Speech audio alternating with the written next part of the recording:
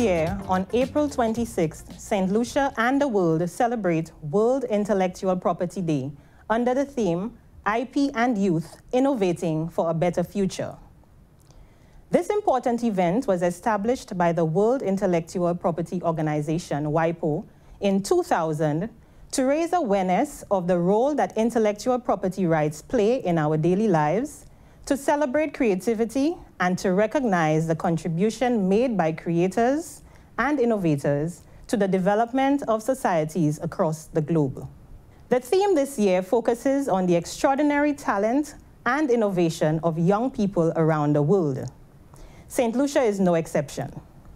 The youth of today offer fresh perspectives, they bring energy and positivity to the table, all in an effort to drive change and to move to a more sustainable future.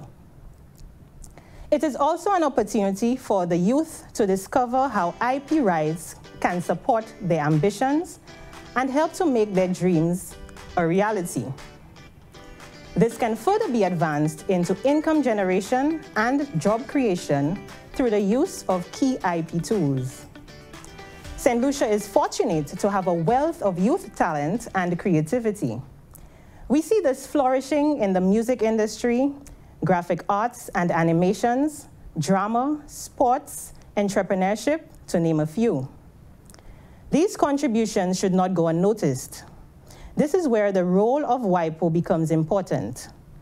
WIPO seeks to support national and regional efforts to create a legal and policy environment for young inventors, creators, and entrepreneurs to thrive.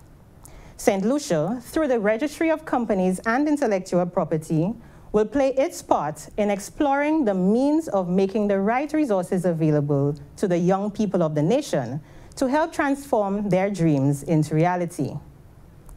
The registry has planned a number of activities to mark World IP Day.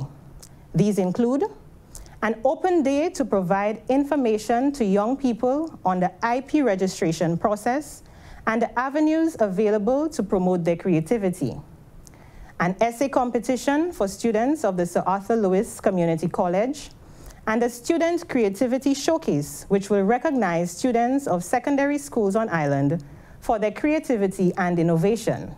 We hope to accomplish our activities through collaboration with some key government ministries, agencies, and organizations, such as the Ministry of Commerce, the Ministry of Creative Industries, the Ministry of Education, the Ministry of Youth Development and Sports, Export St. Lucia, ECHO, and the National Youth Council.